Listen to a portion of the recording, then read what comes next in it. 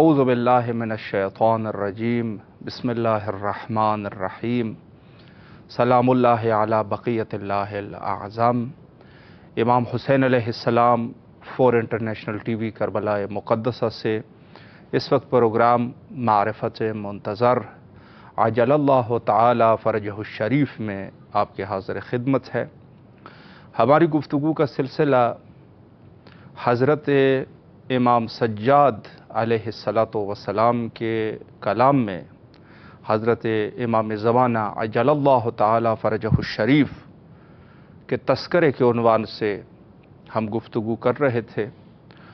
जैसे मैंने अर्ज़ किया कि हज़रत इमाम सज्जाद अलैहिस्सलाम दो तरह के, दो तरह की चीज़ें और दो तरह के मतून हज़रत से मंसूब है।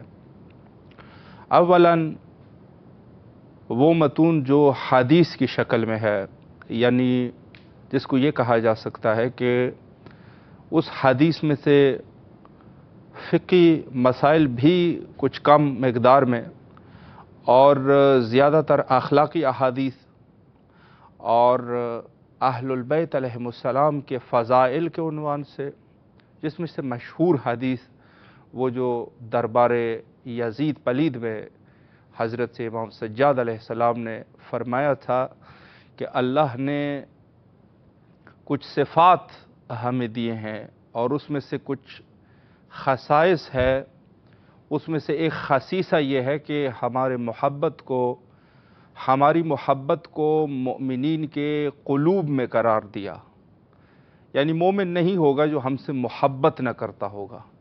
यानी ईमान का जो मवाजना है ईमान के लिए जो शर्त है, वो ये है कि वो अहलुलबैत अलैहिस्सलाम से कलबन मोहब्बत करता होगा। ये ऐसे फ़ज़ाइल के अहादीस है। बहुत गरान बहा और बहुत ही ज़्यादा कीमती चीज़ें जो है, वो हज़रत इमाम सज्जाद अलैहिस्सलाम के कलाम में मौजूद है। जैसे मैंने ये एक उसमें से जो दरबार यजीद में लानतुल्लाह अलैह। हज़रत इमाम ज़ैन अलाबिदीन अलैहिस्सलाम ने फरमाया था कि बहुत लंब, लंबा खुतबा है वो, यानी वहाँ पर जो लोग थे, कुछ रिवायात में सात सौ कुर्सी नशीन वहाँ पर मौजूद थे। तो हज़रत ने फरमाया कि मैं भी कुछ कलाम करना चाहता हूँ। तो बहुत सारे लोग जो है, उन्होंने मुखालफत बहरहल की कि हज़रत को मौका न दिया जाए। कुछ लोगों ने मवाफ़त की। अलबत्ता मशीयत इमाम में किसी की ज़रूरत नहीं होती। अगर इमाम कहे कि मैंने कलाम करना है, फिर कोई उसमें हायल हो जाए। ये नहीं होता। इमाम ने अगर इरादा कर लिया तो वो इरादा इलाही होता है, मशीयत अल्लाह जिसको कहते हैं। अगर इरादा है इमाम का, कलाम का इरादा तो किसी की ज़रूरत नहीं है कि उसको रुक सके। यानी ख़ुद हज़रत इमाम हसन मुशतबा अलैहिस्सलाम जब माविया लान वलाज़ाब के दरबार में दाखिल हो रहे थे तो माविया ने यह कहा हुआ था कि कोई शख्स भी हज़रत के लिए एहतराम में, उनके इस्तबाल में खड़ा ना हो जाए।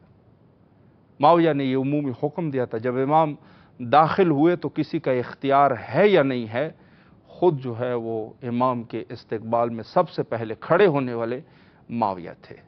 तो ये वो चीज़ें होती है कि जहाँ पर आप जो इमामत का मंशा है, इमामत की, इमामत का जो इरादा है, इमामत की जो तस्मीम है किसी चीज़ में, वो उसी तरीक़े से है जैसे खुदाई ओलुल अमर का माना क्या होता है? साहिब अमर। ओलुल अमर यानी साहिब अमर। उसका माना यही होता है कि हर ज़माने में अगर ओलुल अमर ने किसी चीज़ के लिए अमर कर दिया तो वो जो है बात फिर वहाँ रुक जाती है। वो फिर होना ही होता है। तो ये बहुत सारे मुजज़ात जो है, वो आजकल के इस दौर में एक गलती सुनवान से भी है कि हम लोग जो है वो करबला और वाक़यात करबला को अकल की नज़र से देखते हैं। हालाँकि ये मुआज़े होते हैं। ये मुआज़े होते हैं मुआज़ा किस चीज़ को कहते हैं? मौजदा उसी को कहते हैं कि जहाँ अकल आजज हो जाए, उसको मौजदा कहते हैं। अकल जहाँ पर काम करना छोड़ दे, उसको मुआजा कहते हैं। तो करबला के वाक़ात और करबला में जो कुछ हुआ है सैद शहदा सलाम और शहदा करबला और अहलबैत हत शाम तक ये मोजात पर मौकूफ़ है। मोजात है, अकल आजस हो जाती है। अगर इसी तरीके से हम कुफ़ार को मनाना शुरू कर देंगे तो नऊज़बिल्ला हमें जो है वो हज़रत मूसा सलाम के मौजे का भी इनकार करना होगा। नऊज़बिल्ला चूँकि वो भी तो अकल के मुनाफी है, अकल से तो उसका कोई ताल्लुक़ नहीं है।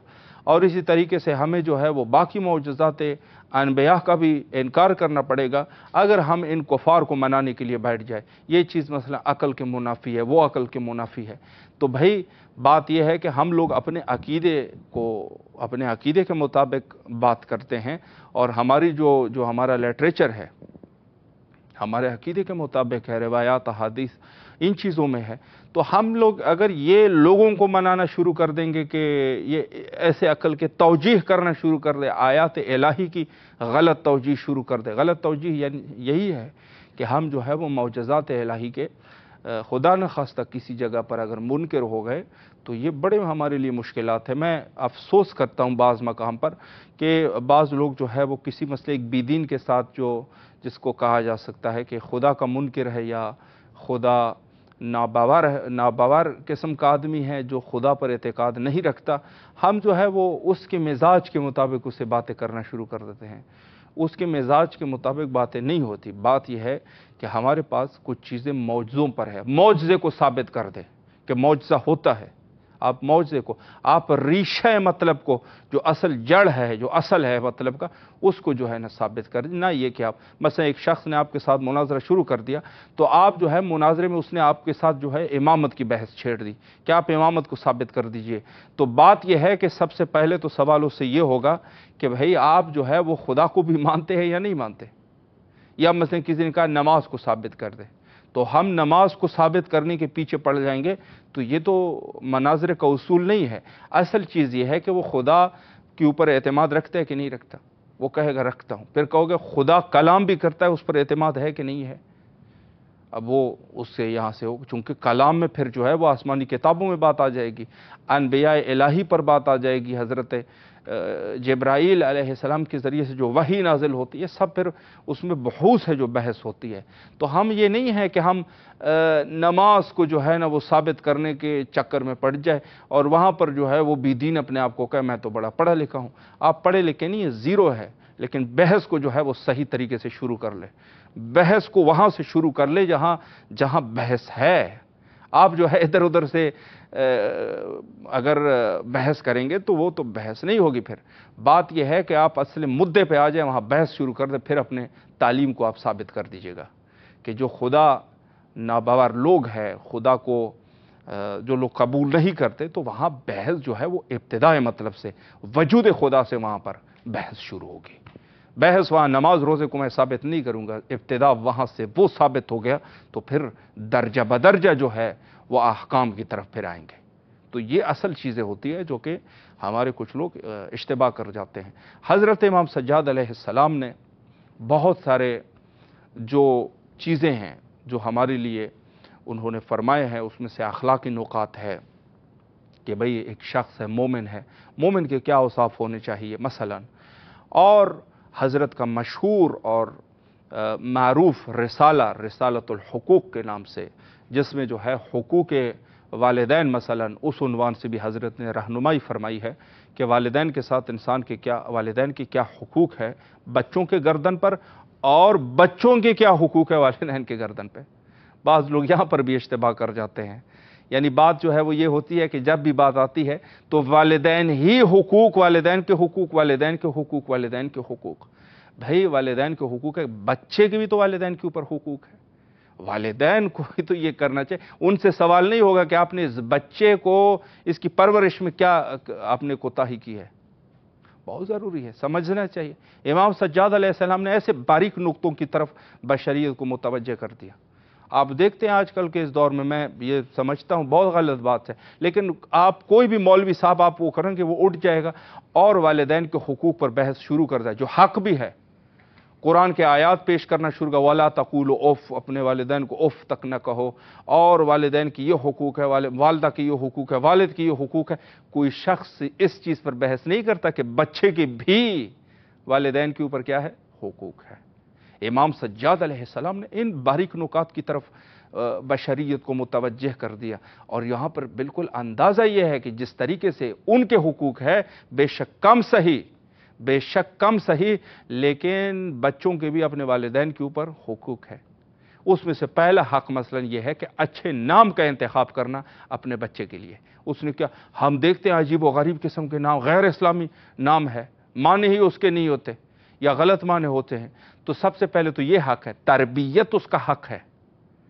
उसको जो है सही, उसको सही दीन दीन की तालीम देना उसके हक है कि उसको दी जाए। दूसरे तालीम देना शायद उनके हकूक में नहीं है, वो अपने बेसात के मुताबिक करेगा। ये नहीं है कि कल को बच्चा जो है ना, वो ये कहे कि मुझे क्यों मसलन इस तरीके से नहीं पढ़ाया गया? वो फलां के बच्चे को तो उसका वालिद जो है, वो सोने की तजारत करता है, आपका वालिद गरीब आदमी है। मेरा बच्चा है, वो मैं जिस तरीके से करना चाहूँ, बस उतने हद तक हमें करने चाहिए। लेकिन दीनी तालीम और उसके अकीदे के मुताबिक ये सवाल किया जाएगा। आपने अपने बच्चों को क्यों दीन की तालीम नहीं दिलाई? दीन की तालीम से क्या मुराद है? अकीदा।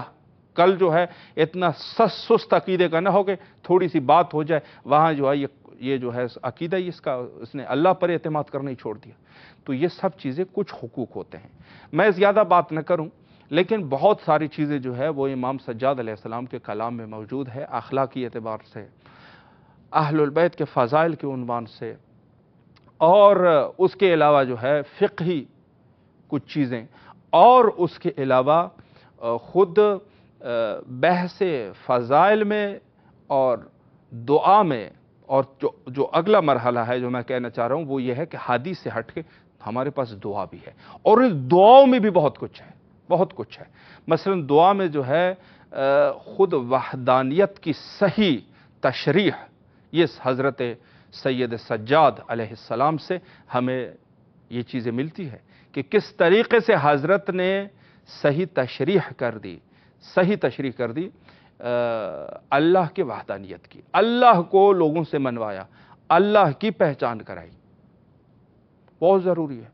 और इन दुआओं में बहुत कुछ है, बहुत कुछ इन दुआओं में है। इसमें से इन दुआओं में जो एक तस्करा है, हमारे वक्त के इमाम हज़रत बक़ीत आज़म, इमाम ज़माना अजल फ़रजह शरीफ का तस्करा भी मौजूद है। आज इस पर मुख्तसर एक हदीस आपकी खिदमत में पेश करूँगा। बाकी जो है आप ख़ुद फिर जाके जो दुआओं में हज़रत सहीफ़ सजादिया में किताब शरीफ सहीफ़ सजादिया में जो मतालब है, वो फिर आप जाके ख़ुद मुताला कर लें। देखें दुआ के उनवान से मैं इतना अर्ज़ करूँ कि हज़रत की ये जो दुआएँ हैं, ये फ़कत ऐसी दुआएँ नहीं है कि अल्लाह से सिर्फ़ तलब किया जा रहा है। तलब किया जा रहा है, ऐसी चीज़ें तलब की जा रही है जो बशरीत के लिए मुफीद है। बशरीत को गोया मैं दूसरे, दूसरी इबारत में ये कहूँ कि वो चीज़ें हज़रत जो है, वो तस्क, वगरना हज़रत तो ख़ुद मासूम है। लेकिन जो मैं और आपकी रहनुमाई की जा रही है, वो ये है कि आपने इस तरीके से दुआ अवलन तो तर्ज दुआ को आपको सिखाया जा रहा है कि इस तरीके से आप दुआ करें अपने परवरदिगार से। दूसरी चीज़ जो आपको सिखा रहे हैं वो ये है कि आपने क्या चीज़ तलब तलब करनी है। बस अवकात ये होता है, बहुत सारी चीज़ें, हम अजीब व गरीब किस्म की चीज़ें। अलबत्त आपने खुदा से बहरहाल खुल की गुफ्तु होनी चाहिए, लेकिन हमारी जो, जिस तरीके से हमारी दुआएँ हैं ना, वो बहुत अजीब व गरीब दुआएँ हैं। बात यह है कि तर्ज तलब जो है, जिस तरीके से आप तलब करते हैं, उसका भी कोई तरीका होना चाहिए। आप अपने अल्लाह से, अल्लाह ने नमाज़ नमाज़ टोटली दुआ है कि नहीं है? खुद सालात बमान ये दुआ है। यानी सालात कमाने दुआ करना। अव्वल सूर अलहमद से लेकर आखिर तक दुआ ही दुआ है। दुआएँ हैं।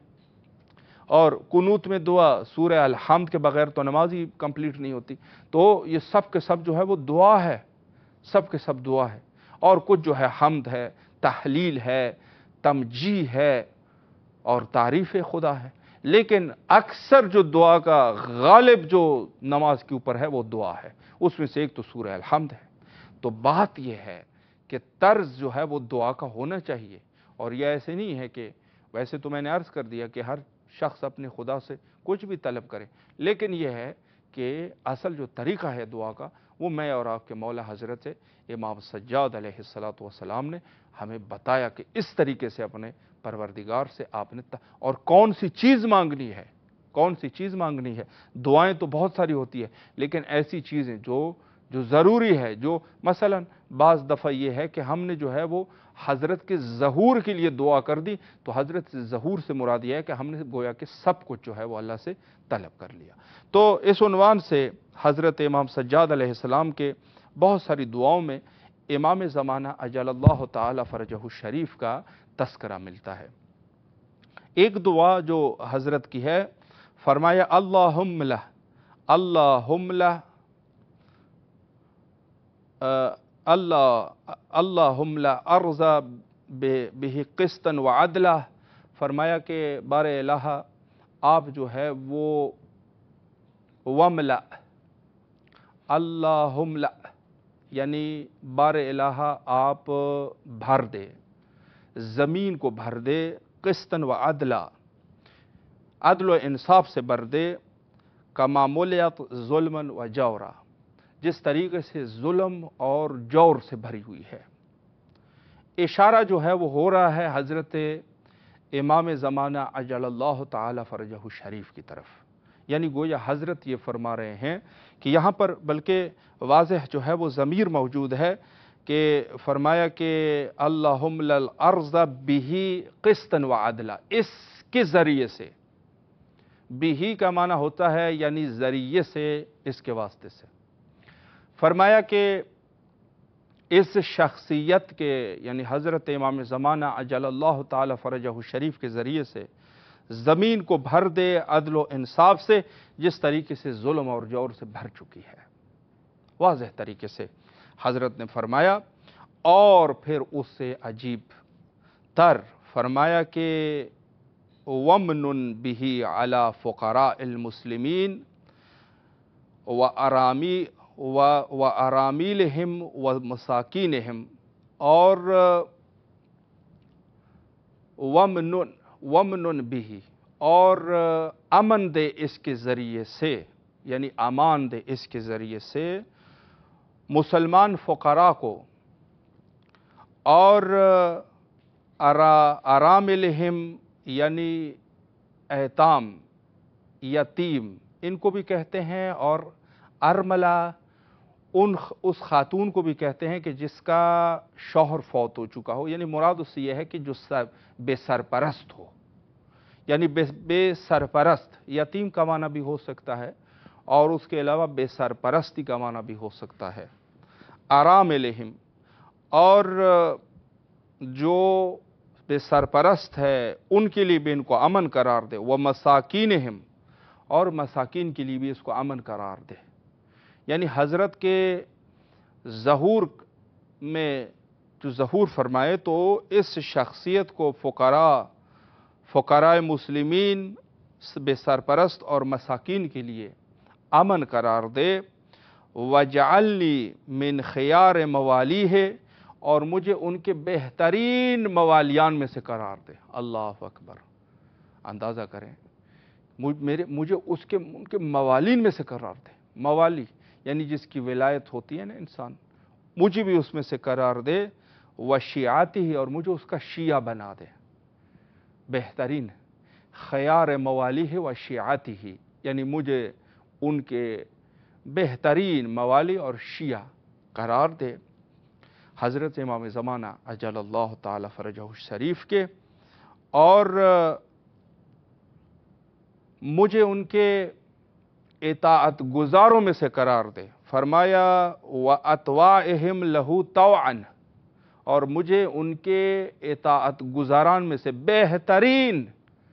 और आप जानते हैं कि मफूल मुतलक जो है अतवा अहम तोआ, इसका माना यह होता है कि जिस तरीके से, यानी यो तहरकुम तथहीरा जिस तरीके से तहारत का हक है। ये तर्जमा उर्दू में होता है। तो यहाँ पर भी अतवा अहम तवा का माना यही है कि जिस तरीके से एतात का हक है, मुझे उस तरीके से एतात गुजार बना दे हज़रत इमाम ज़माना अजल ताला फ़रज शरीफ के। गौर फरमाए कि हज़रत ने और भी दुआ का इदामा है। हज़रत ने सबसे पहले दुआ की है, इमाम के ज़हूर के लिए। इमाम के ज़हूर के लिए दुआ फरमाई और फरमाया कि अल्लाह इसके ज़रिए से अल्लाहमला बही किस्तन व अदला। सबसे पहले तो किस्त और अदल से इसके ज़रिए से ज़मीन को भर दे। फिर फरमाया कि कमामुल जुल्म व जौर जिस तरीके से जुल्म और जौर से भरी हुई होंगी। और हदीस का दूसरा पहलू यह है, फरमाया कि वमन बिही अलफ़ुकारा मुस्लिमीन व आरा व आराम और फ़ुकारा और मसाकिन को वमन भी इसके ज़रिए से उनको अमन मिला। ज़ाहिर है कि मुसीबत दूर कर दे उनकी, मुस्लिमीन और सरपरस्त और मसाकिन हम और जो मस्किन है। और तीसरी जो चीज़ है वो ये है कि मुझे अपने लिए दुआ कर रहे हैं कि मुझे करार दे मिन ख़यार मवाली हम उनके बेहतरीन मवालियान में से वशियाती ही, और उनकी शियों में से। और हत हज़रत ने एक जुमला जो बहुत मुहिम है उसमें अशद अशद हिम लहुल और मोहब्बत में, उनकी मोहब्बत में मुझे शदीद कर, शदीद तर कर दे। शदीद तरीन कर दे। यानी इतनी मोहब्बत हो ना, बस औकात। ऐसी मोहब्बत होती है ना कि इंसान अगर मसलन अथार सलाम के ज़माने में या जो मजाजी मोहब्बत होती है, मजाजी मोहब्बत में भी ऐसी है कि इंसान जो है जिससे मोहब्बत करता है, फिर शिद्दत इख्तियार कर जाती है और फिर वो बार बार जाया करता है। किसी चीज़ की भी मोहब्बत हो, इंसान है क्षय है, कोई भी हो तो ये मोहब्बत की शिद्दत होती है। हज़रत फरमाते हैं कि मुझे अशद कर दे, शदीद तरीन कर दे उनकी मोहब्बत में और व अतवा अहम तवा और मुझे उनकी एतात, मुझे उनका एतात गुजार बना दे, जैसे एतात गुजारी का हक है। ये है हज़रत के वो गरान गरान कदर कलमात, जो हज़रत इमाम ज़माना अजल तफ़रज शरीफ के लिए हज़रत ने इरशाद फरमाए यानी गोया ये कहा जा सकता है कि अपनी दुआओं को किस तरीके से, हमें कौन सी और किस तर्ज की दुआ करनी चाहिए ज़माने गैबत में। ज़मान गैबत में ये बेहतरीन दुआ है कि जो हज़रत इमाम सज्जाद सलाम ने तिलावत फरमाई है और इसमें जो है ख़ुद उन चीज़ों की तरफ़, यानी एक तरीके से अकीदे की तरफ़ भी इशारा है दुआ, ही दुआ में और दूसरी तरफ़ से तर्ज हमें यह बताया जा रहा है कि हमने जो है वो किस तरीके से दुआ करना है और किस तरीके से हम अल्लाह के जो वली बरहक है उनका किस तरीके से इंतज़ार करें। ज़रूरी और लाजमी है कि हम इन चीज़ों में हज़रत इमाम सज्जाद सलाम के गरान कदर और गरान बहा कलमात को और उनके कलाम से मुस्तफ़ हो जाए और इन हज़रत के आवान और अनसार में से उनमें शामिल हो जाए। वक्त हमारा तकरीबन इंतहा पर है और आखिर में हजत खुदा के ज़हूर के लिए मिल के दुआ करते हैं। अल्लाह मज्जल ले वली कल फ़रज